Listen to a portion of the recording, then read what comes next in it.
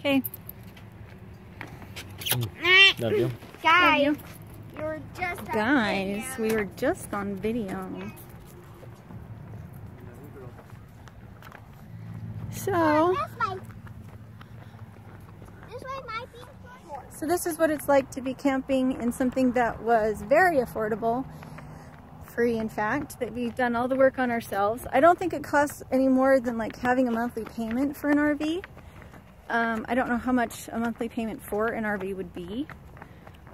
Um, So, So far, our repairs and upkeep has been about a thousand dollars since we got on the road, and to get it up and running and fix everything was two thousand. So at this point, five weeks in, we're at about three thousand dollars because the RV itself was free. Come back, please. So that's just what it is. You can choose to either have a payment for your RV or you can just know that, I mean, a, a brand new RV, you're going to have maintenance on it too. You're going to have things break, you're going to have tires that go flat. And so we can have um, the normal wear and tear on our RV that's paid for, or we could have normal wear and tear on top of an RV payment. So that's just the way that we've chosen to do it.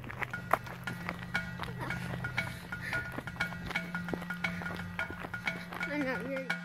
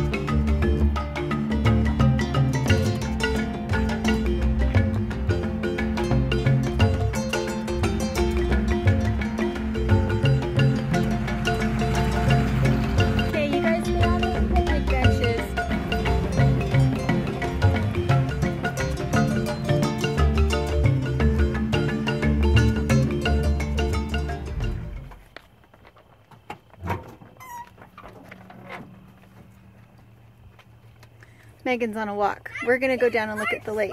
How does that sound? You're not getting you're not getting swimsuits on. We're not going swimming today. No, we're just we are gonna go walk down and look at the um at the lake.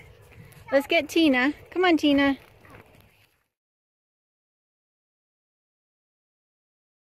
We have all of this lovely space. The girls can run. There's not a huge amount of trees like as in bushes to make you worry about where's my kid? Are they where they're supposed to be? It's really pretty. The lake is gorgeous. And we're gonna go play in it. We're well, we're gonna go put our toes in it for now. And it could be the time of year. Like I wonder if maybe in July it would be really, really hot. But here in the middle of October it's really gorgeous. And Tina. the um the fees are thirty dollars a night. We'll be here for one night. Don't make them- So it's nice to have the boots and the sandals. So if we have warm weather, you can use your sandals. If we have cold weather, you can use your boots. And I, this is deep enough that I could actually drown in it, huh? Probably.